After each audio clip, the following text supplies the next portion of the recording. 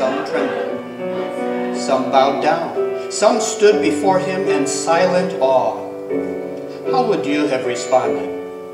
How we respond to God reveals what we believe about him.